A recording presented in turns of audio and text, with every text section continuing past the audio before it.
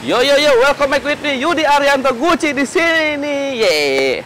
Nah, mitra olahraga hari ini gue mau grebek rumah salah satu pesepak bola. Dia itu mantan Persija, pernah bawain Arema, juara dan terakhir dibawa Liga 2 Semen Padang ke Liga 1. Nah, siapa dia?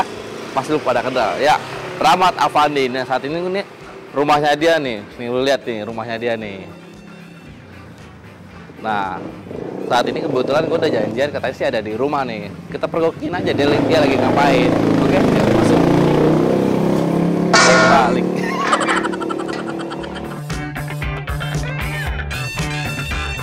Widih. Nih lu lihat. Kayaknya tuh Persija itu selalu ada di hatinya dia nih. Lu bisa nebak gak dia di mana? Tuh, nih nih nih, Afandi nih. Sampingnya siapa itu Rahmat Afandi? Sama Abdul Tommy. Sama Delton. Nah, ini rumahnya dia. Kita kotak dulu ya. Assalamualaikum. Waalaikumsalam. Bisa. Nih dia nih, Bang Rahmat Afandi. Oh, mitra olahraga. Apa kabar, Bang? Alhamdulillah baik. Bang, boleh masuk nggak, Bang? Silakan. Halo, Adek. Wih, anak keberapa, Bang? Ini yang anak kedua. Anak kedua. ya. Cita-cita jadi apaan, Bang nih? Sepak bola juga? Kalau saya sih serahin mau jadi pemain atau mau sekolah. Oh, nggak ini ngebatasin ya? Ya. Oh. bang, ini boleh ke dalam lagi nggak sih bang? Lihat lihat barang. Silakan masuk. Widih. Ini mitra olahraga. Ini semakin lu masuk ke rumah sini, lu semakin dekat tuh sama sejarah-sejarah Rahmat Afandi. Tuh lu lihat. Tuh. Ya, ini waktu di Persib Bandung bang ya? PSMS Eh, Medan. oh PSMS Medan. 2007 2008. Kalau ini masih U16 ya? Iya. Pelatihnya siapa bang waktu dulu bang? Ini Pak Haji Warta Kusuma. Ini pelatih pertamanya. Ini Persebaya di bang ya? Ya, Al Hadad. Terus ganti di Jackson Tiago. Oh Jackson Tiago. Ini oh. Buset nih, masih muda-muda ini umur berapa tuh bang? Itu 19 tahun. 19 tahun, masih perjaka kali itu ya? Nah ini gua waktu di Nih, Arema. nih. Arema tuh dia sempat bawa Arema juara Ya 2010. 2011 sama pelatih Rene Albert bang ya? Ya kemarin El Albert. Oh ini, nah ini Nah, nih, pojok sana udah Persija punya semua nih. nih Persija Rahmat Afandi nomor 27. Ini pertama gabung di Persija tahun 2012 pakai nomor 27 Duet sama BP juga bang ya? sama BP sama Pedro Javier. Oh. Kalau menurut abang nih striker Persija dulu tuh sama sekarang bagusan mana nih bang? Dulu pertama saya di Persija tuh Ah. tahun 2000. 2001 habis Persija juara Iya. tuh gua dari timnas 19 masuk ke Persija ada Budi Sudarsono, Gendut Doni, The Python ya? BP tiga-tiganya nih striker tim nasional. Iya. Nah, itu yang jadi masalah kalau menurut saya sekarang di tim nasional nggak ada striker, lokal. lokal. Semua klub, ya? semua klub pasti strikernya asing. Asing. Kalau nggak dinaturalisasi striker Iya. dari asingnya. ya? Adapun striker lokal pasti dirubah posisi jadi gelandang, jadi second atau jadi wing. Itu yang jadi masalah. masalah makanya striker nggak kasih kepercayaan bang ya pada ya, striker bermain terus kepercayaan. uh, jadi ya wajar sekarang susah. Adapun striker lokal nggak dapat tempat di klubnya masing-masing. dulu gue sempat dengar kabar nih katanya abang waktu kecil tuh sempat mau ke Torino nih bang. Itu gimana ceritanya bang? Ya jadi pertama Ah. kan di Pelita Junior. Pelita Junior ya.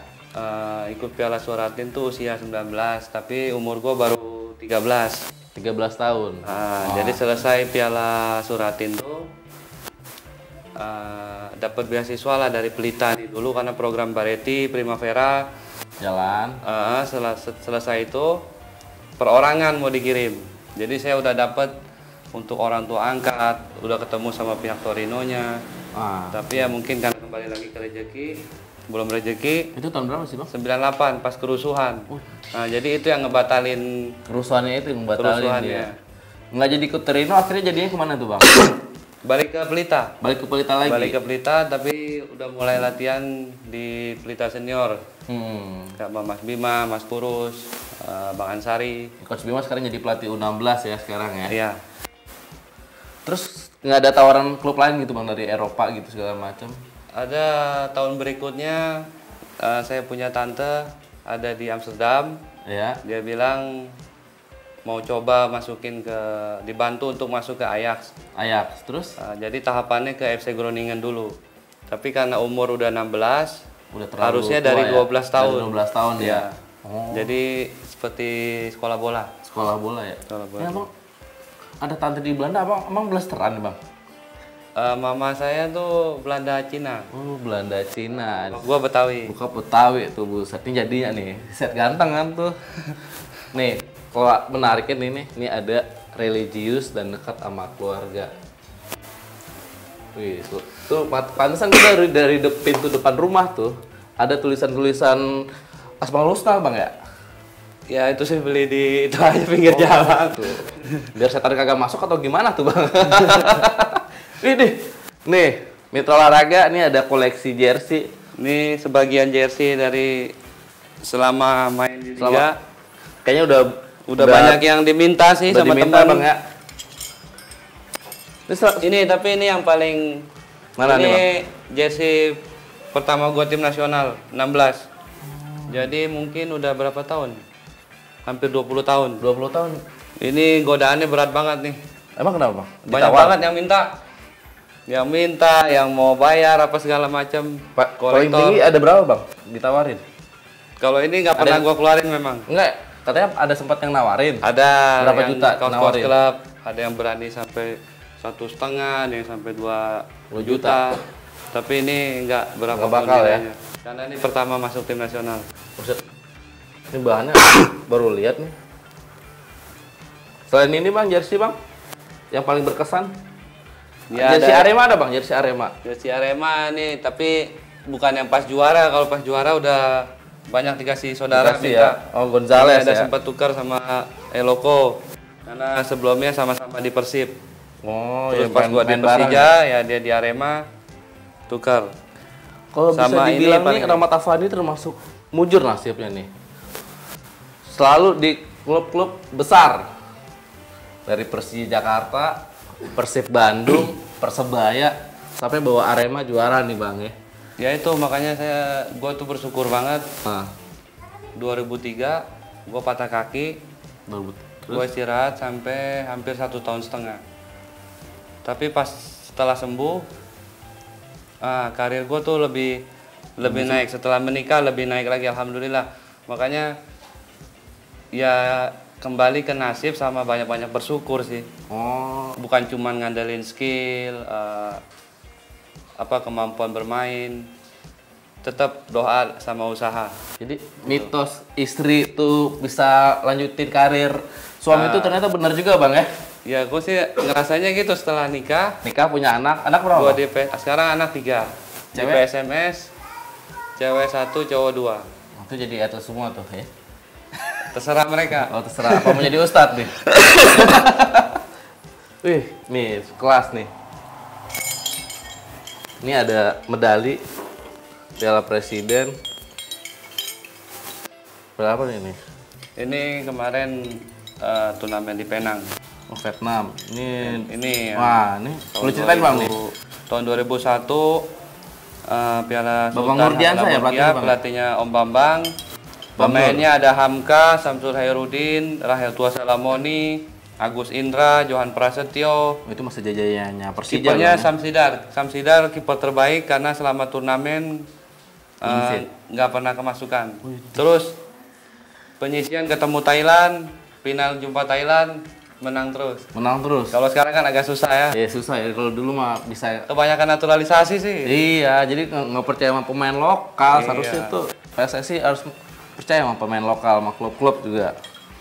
Ini eh, medali apa lagi? Oh, nih nih. Ini, Ini- pernah bawa pas Arema juara bang ya? Ya, Tahun 2009 2010 ini berapa gol bang pas di Arema bang? 7 atau 8 lupa. 7 atau 8 ya. Tapi selama abang berkarir di semua klub-klub besar Persib, Arema, Persebaya, pernah di PSMS Medan juga, Persija, striker, kita dari striker dulu nih. Iya. Duet paling maut, menurut abang paling berbahaya itu siapa bang? selama Kalau bermain ya? zaman saya main sih, ya Striker. memang kalau lokal Ya. ini idola saya tuh sebenarnya memang Kurniawan. Oh, si kurus. Ya, Oh. dia punya speed, Speed. speed pendeknya, terus pintar cari posisi. Eh, kalau untuk asing ya Eloko. Elok nggak ada matinya sekarang udah Eloko jadi memang naturalisasi kan. naluri cetak golnya tuh bagus. Kok itu gimana ceritanya bola ke dia, bukan dia yang ngejar bola ya? Iya. Luar biasa tuh. Sama kayak Simeone Inzaghi tuh, Bang. Eh, Filippo Inzaghi, Filippo. Terus kalau misalnya ini back, back. Yang paling Back susah dilewatin. Ya Paling susah. hampir semua pemain Ya, di Indonesia tuh agak ngeri-ngeri sedap kalau jumpa Persipura. Karena ada Bio Paulin Bio Pauli. sama Iqbal Nevo di bawah. Oh, dulu zamannya dulu tuh. Iya, waktu udah tahun-tahun 2007 ke atas Iya, kan. iya. Jadi banyak striker tuh kalau main ke sana ya jadi wing, jadi gelandang. Nggak mau ketemu langsung nggak ya? mau ketemu langsung. Bola, boleh, boleh, bo- boleh lewat. Tapi orang jangan boleh sampai lewat, Bang. ya. Gue juga ketemu Bio Pauli juga ngeri-ngeri sedap sih, Bang. dulu zaman-zaman gua tinggi banget, mau kaserem kan, tapi orangnya Terus baik dia punya aslinya, Bang. power, dia punya speed. Iya. eh ya main pintar, cerdas, lugas, Lugas tegas, juga lugas. ya? Nggak ada kompromi, makanya pemain depan agak-agak ngeri di situ. Victor Ibu Univo juga sama. Victor Bonevo sama. Makanya dua palang pintu Persipura tuh Paling susah paling dilewatin ya. susah dilewatin. Gue juga ketemu mereka tuh, gue kira Set, ini orang serem banget. Kalah juga preman mukanya kalau gue lihat nah. Tapi pas ketemu gitu ngobrol, gua, Baik "Wih, orangnya. ba- baik. Memang baik. Bio Baik. Bonevo Bio- baik. Pak. Bio Paulin baik. Gue pernah ngasih challenge dulu pas di Bio Paulin dulu. Udah lama banget gue di eh, sempat ada program kampion jadi Bio Paulin eh, selfie sama orang. Orangnya ketakutan. Ini siapa ngajakin orang foto Nah, Metro Olahraga tadi sampai segitu dulu tuh jumpa eh, kita gerebek rumah Rahmat Afandi ada poster-posternya masih dia berlaga di klub-klub dia, masih ada koleksi jersey-nya dia, masih ada medalinya dia nih. Nah, Metro Olahraga kira-kira pemain siapa lagi nih yang pengen digerebek rumah? Jangan lupa komen di bawah ya. Ya udah sampai segitu dulu. Jangan lupa subscribe, share, and comment di YouTube Antv Sport Official. Dadah.